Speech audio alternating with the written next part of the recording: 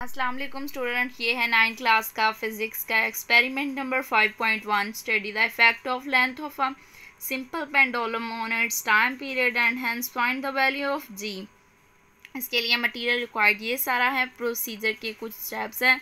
ये part two है. Part one मैं ऑलरेडी अपलोड कर चुकी हूँ. आपको पार्ट वन का लिंक डिस्क्रिप्शन में मिल जाएगा. ठीक है जी? और ये है प्रोसीजर थोड़ा गंदा लिखा है. मैंने आपको पहले भी बताया, लेकिन इट्स ओके समझ आ रही है। ये सारा।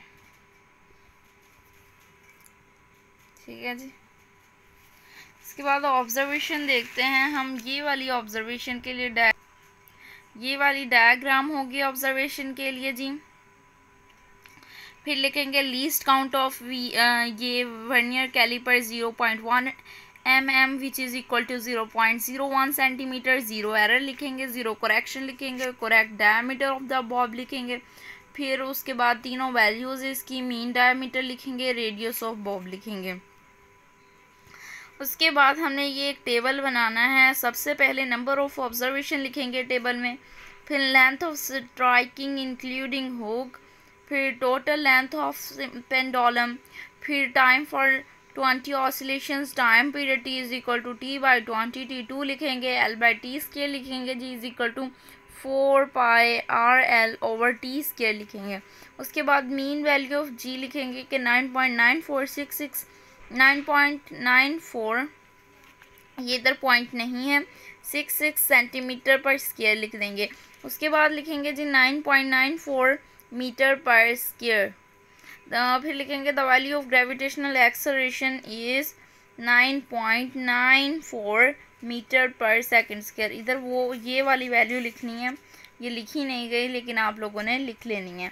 इसके बाद अगले एक्सपेरिमेंट की तरफ़ आ जाते हैं। तो अगला एक्सपेरिमेंट है जी five point two prove that time period of a simple pendulum is independent of the mass of the pendulum material required इसके लिए ये सारा है, ठीक है जी।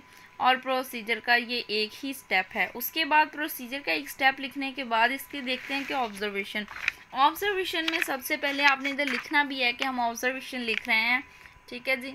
फिर least count of vernier calliper लिखेंगे zero M M which is equal to zero centimetre zero error zero centimetre आ जाएगा ज़ीरो करेक्शन हम लिखेंगे। फिर लिखेंगे corrected diameter of the bob aluminium bob D one lead bob d2 brass bob d3 average diameter of all the bob d is equal to फिर हम लिखेंगे radius of the bob उसके बाद length radius of the bob लिखने के बाद r is equal to D by two करके ये निकालेंगे. लेंथ ऑफ़ पेंडोलम निकालेंगे. उसके बाद हमने ये टेबल बनाना है. टेबल बनाने के बाद रिज़ल्ट लिखेंगे the time period of a simple pendulum is not depend on the mass of pendulum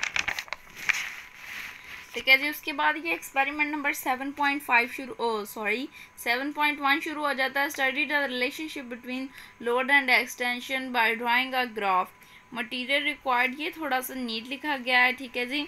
और ये प्रोसीजर के बारी बारी में स्टेप्स आपको एक एक करके दिखाती जाती हूँ।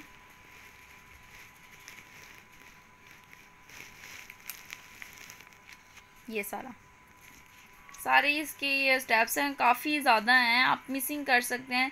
लेकिन जब आपने याद करने हैं तो आप पीछे से जो आपकी बुक पे थोड़ा सा ये वाला हिस्सा नहीं लिखा होता, ये वाला सारा ऐसे तो इधर से आप देख के लिख सकते हैं। अब इसकी देखते हैं कि डायग्राम कौन सी बनानी है। ये डायग्राम बनानी है इसकी। डायग्राम बनाकर हमने ये साथ में ये लिख देना है। Initial position of the pointer with चार with hanger P naught is equal to 0 centimeter gravitational acceleration, G is equal to 10 meter per sec 10 meter per square, ठीक है? Metre per second square sorry ये मैंने दो तीन जगह pronounce किया है। आई थिंक सो मैंने ten metre per second square pronounce किया है, लेकिन मुझे अब लग रहा है कि मैंने मीटर पर स्केयर कह दिया है। लेकिन ये ten metre per second square है so I am really sorry for this so ये नंबर ऑफ़ ऑब्जर्वेशन है, अगर कोई गलती हो जाया करे तो आप कमेंट में बता दीजिए करें, ताकि नेक्स्ट टाइम जब भी मैं बनाऊँ वीडियो तो ऐसी गलती ना करूँ। गलती तो सबसे हो जाती है। ये सारा ऑब्जर्वेशन का जो टेबल बनाना है। इसके लिए हमने रिज़ल्ट देखते हैं, लिखना भी है कि नहीं नहीं लिखना, क्योंकि अगला एक्सपेरिमेंट शुरू हो जाता है seven point two find the density of an object heavier than water by Archimedes principle material required ये है सारा हमारे पास प्रोसीजर के, ये स्टेप्स हैं। ठीक है, ये थोड़ा सा ऐसे लगता है जैसे कुछ ज़्यादा लाइट नहीं लिखा गया है ना? उसके बाद डायग्राम देखते हैं। ये यहाँ से डायग्राम बनानी शुरू करनी है। इसको लेबल भी करना है आप लोगों ने।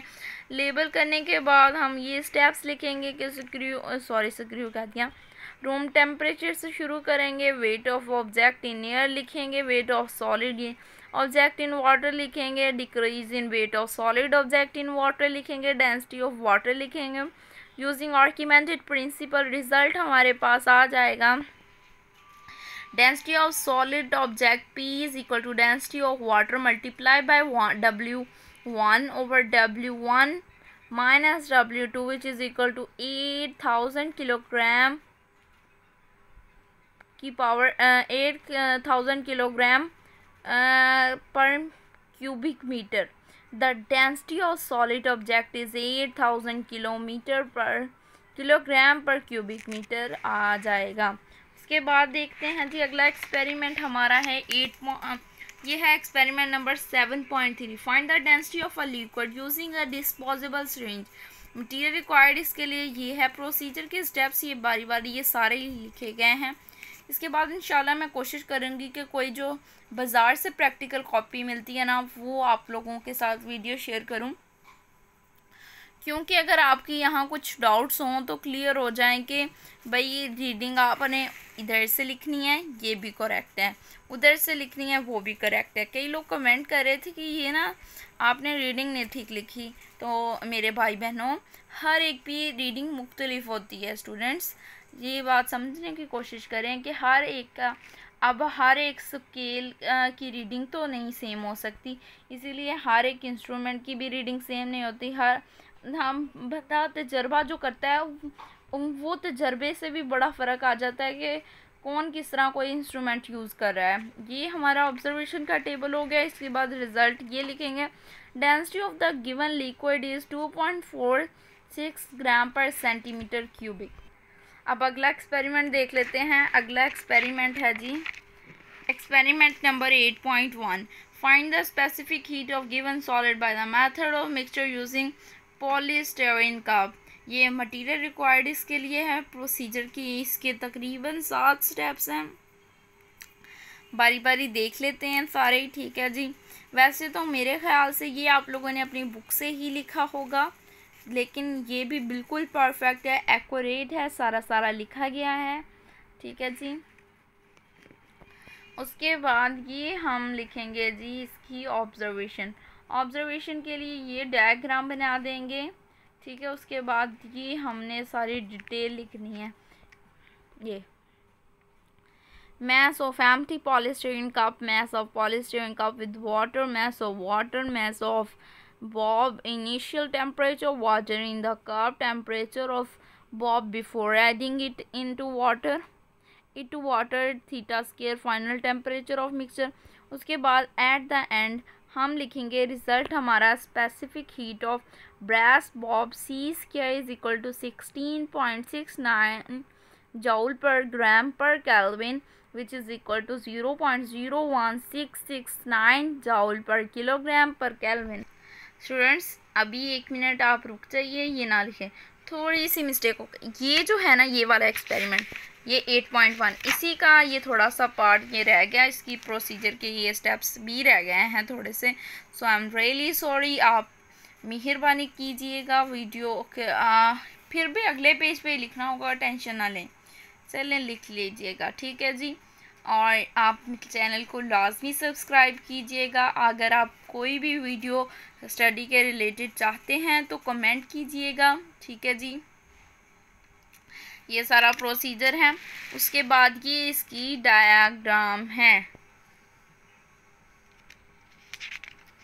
एट द एंड हमारी कॉपी फिनिश तो वीडियो को लाइक करें चैनल को सब्सक्राइब करें। थैंक यू अल्लाह हाफिज़। अपना ख्याल रखिएगा और best of luck for your practical